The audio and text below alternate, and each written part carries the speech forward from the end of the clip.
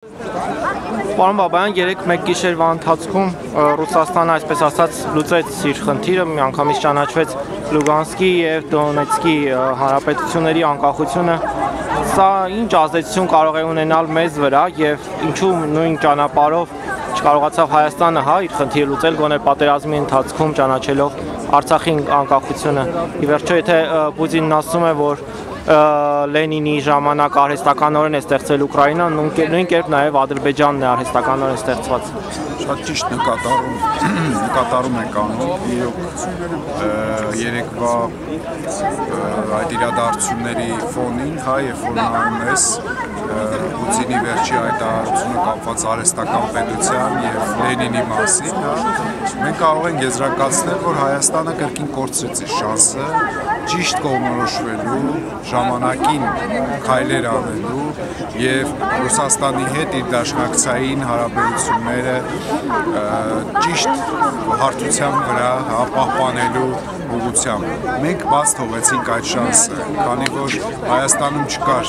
այնպիսի ղեկավար պատերազմի ժամանակ, որը կարող էր դա անել։ Մենք շատ լավ գիտենք, որ Հայաստանի իշխանությունները ամեն ինչ արեցին, որպեսզի ռուսական, այսպես ասած, քաղաքականության, գեոքաղաքականության շահերը այստեղ զիջեն արևմտյան եւ թուրքական ուրեմն քաղաքական շահերին եւ դրա համար խոսել նրա մասին թե ինչու չեղավ բնական է որ չէր լինելու նախ դրա համար պետք էր այնքան հնարավորություն որը տեղում ճիշտ պահին եւ մեր դաշնակից Ռուսաստանի օգնությամբ պետք է արվեր եւ դա մենք չարեցինք մենք ասելով բնական է նկատի ունեմ այս կապիտուլյացիոն իշխանությանը։ Նրանք դա չարեցին։ Ինչ տեղի ունեցավ, տեղի ունեցավ այն, որը պետք է տեղի ունենար Ռուսաստանի նախագահը հստակ ձևակերպեց նոր աշխարհակարգի իր պատկերացումները, հստակ ձևակերպեց եւ բաժանարար գծեր քաշեց աշխարհի տարբեր պետությունների եւ հա այսպես կոչված ցիվիլիզացիաների միջև եւ Հայաստանի համար այսօր ավելի բարդ է լինելու որոշել ինքը որ ուղղությամբ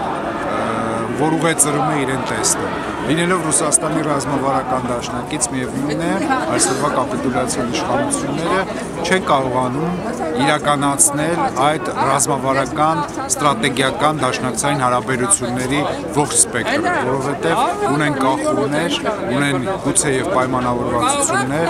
եւ ինչպես տեսնում ենք Հայաստանին անհրաժեշտ է լինելու առաջիկայում ունենալ այնպիսի իշխանություն, որին կլսի եւ որի հետ հաշվի կնստի նաեւ Ռուսաստանը, իսկ դա կարող է լինել մի դեպքում, երբ որ Ռուսաստանի իշխանությունները վստահեն Հայաստանի ղեկավարությանը որպես դաշնակից եւ ոչ թե մի քանի խաղ տվող ուրեմն իշխանություն։ Սա շատ կարեւոր է եւ այս մեսիջները հիմնականում ուղղված էին նաև մեզ, ուղղված էին նաև Ադրբեջանին, ուղղված էին նաև բոլոր այն երկրներին, ովքեր որ փորձում են, այսպես ասած, ռուսների գլխի վրայից թռնելով ինչ որ հարցեր լուծել տարածաշրջանում, դա չի ստացվել։ Ուղղակի երեկվա իրադարձությունները դա ապացուցեցին։ Տեսեք, պատերազմի ընթացքում Վլադիմիր Պուտինը ակնարկում էր, որ անգամ Հայաստանը չի ճանաչել Արցախի անկախությունը։ Սա նշանակում է, որ նաև ակնարկ էր, որ կարող էինք սա անել, թե մի տեսակետ էլ կա, որ Ռուսաստանը չցանկացավ նույնը անել Արցախում, ինչ տեղի ունեցավ Լուգանսկում եւ Դոնեցկում եւ այսպես ասած էլի սլակներն ուղարկում է Ռուսաստանի Լուգանսկն ու Դոնեցկը ոչ Եվրոմիության, ոչ ՆԱՏՕ-ի, ոչ էլ Միացյալ Նահանգների վրա հույս չէին դրել։ Լուգանսկն ու Դոնեցկը հստակ իրենց գիծը ունեին, որը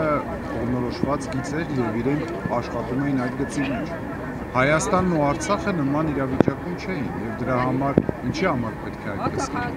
Եթե լիներ կրկնում եմ դաշնակցային լիարժեք համագործակցություն եւ ճիշտ քաղաքական ժամանակին կատարած քայլեր, իհարկե Ռուսաստանը նաեւ այսօր էլ կարող էր Արցախը ճանաչել որպես անկախ պետություն, հենց Լուգանսկի եւ Դոնեցկի նախադեպը հաշվի առնելով բայց չեն անում դա ինչ պատճառներով մենք բոլորս հասկանում ենք որովհետև նման բան անելու համար պետք է նախ վստահ լինես որ քո գործընկերները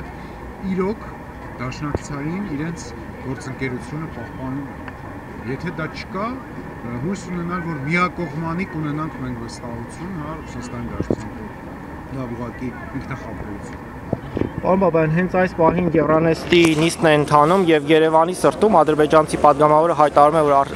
Արցախի հարցը լուծված է, ռազմագերիներ չկան։ Այս գործընթացը որևէ կերպ,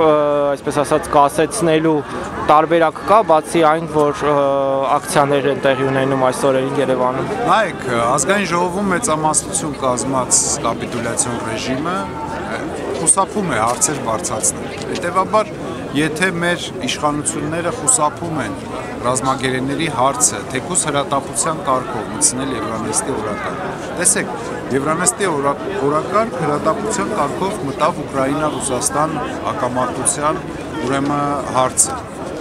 Եթե դա մտցրեցին հրատապության կարգով, արդյոք չէր կարելի փոփոխություն կատարել օրակարգում եւ Հայաստանի Հանրապետության պատվիրակության պահանջով ուրեմն դնել հայ ռազմագերիների մշակութային կոթողների արգելված զենքի օգտագործման եւ այլ հարցերի քննարկումը հենց Երևանից։